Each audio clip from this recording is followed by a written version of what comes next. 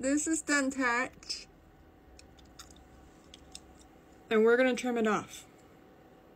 You're gonna need your denture and you're gonna need a pair of cuticle scissors. We are going to peel this up and trim it off. It's been about four hours, five hours since I've put this on. You wanna wait at least two hours before trimming. Let's get it done.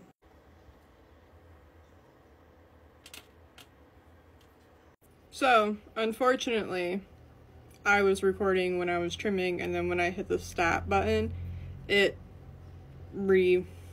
It started me back at 28 seconds when I was like a minute 20 deep into the trimming. Anyways, so I trimmed this off of my denture, all of the stuff around, with these cuticle trimmers, and it was super simple, super easy.